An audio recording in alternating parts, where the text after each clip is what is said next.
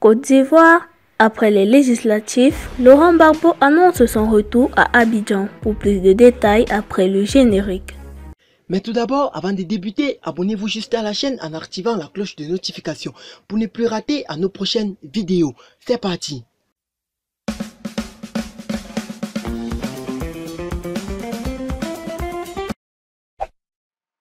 Laurent Gbagbo pourrait prioriser son retour en Côte d'Ivoire maintenant que le scrutin législatif est terminé.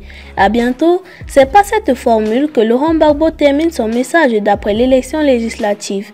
Un message dans lequel il félicite les candidats de l'opposition élus tout en saluant la mobilisation des électeurs et le climat apaisé dans lequel le scrutin s'est déroulé. À bientôt, en le disant, Laurent Gbagbo veut faire comprendre qu'il arrive dans pas longtemps, dans peu de temps, dans un futur proche.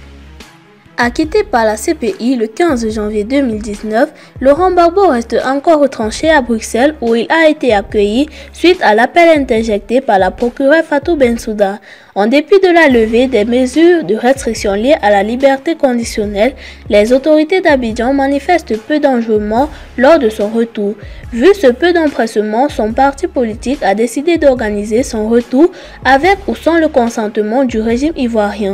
Alors, quelques jours avant les élections du 6 mars, Dr Assoa Adou annonçait le retour de l'ex-président pour le 15 mars au plus tard. Un comité d'accueil a été mis en place. Cette annonce a eu pour effet de susciter un nouvel enthousiasme chez les populations. Le constat a été fait pendant la campagne électorale pour les législatives. Dans les villages de Lakota, les populations réagissaient avec ferveur. Chaque fois, l'équipe de campagne du candidat Lida Kwasi le disait. Mais si l'enthousiasme était très vif, avec les précisions de la date du retour, elle retombait d'un cran quand les émissaires de l'ex-ministre disaient Bagbo revient bientôt. Pour eux, il y a longtemps que cela a été dit, alors ils n'y croyaient plus. Cette fois, c'est Laurent Gbagbo lui-même qui dit à bientôt. Cela va-t-il changer les perceptions des populations qui souhaitent ardemment ce retour? Rien n'est moins sûr. Mais vu le souhait ardent des populations et les passions que l'annonce suscite, le pouvoir RHDP peut se féliciter d'avoir maintenu loin de la Côte d'Ivoire Laurent Gbagbo car sa présence allait considérablement impacter les deux scrutins présidentiels et législatifs, positivement pour l'opposition et négativement pour le parti présidentiel. Le président Alassane Ouattara exprime toute sa douleur.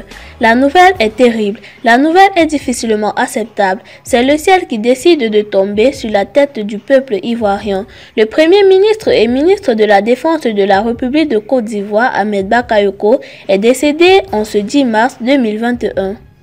C'est un jour avec un voile noir qui se lève sur la Côte d'Ivoire, celui que les Ivoiriens et même les peuples au-delà des frontières ivoiriennes appellent affectueusement le Golden Boy.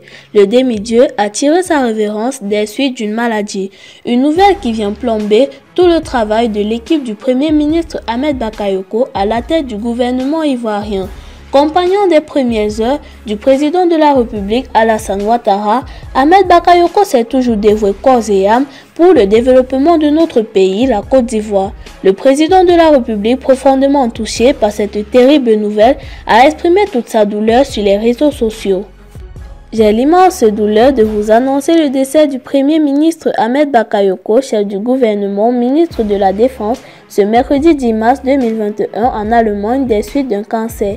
Le ministre Ahmed Bakayoko s'est donc éteint à tout jamais à l'âge de 56 ans et le deuxième jour après sa date d'anniversaire, a déclaré Alassane Ouattara. Alors, chers amis, si vous avez aimé la vidéo, n'oubliez pas de vous abonner, de la liker et de la partager au maximum. À bientôt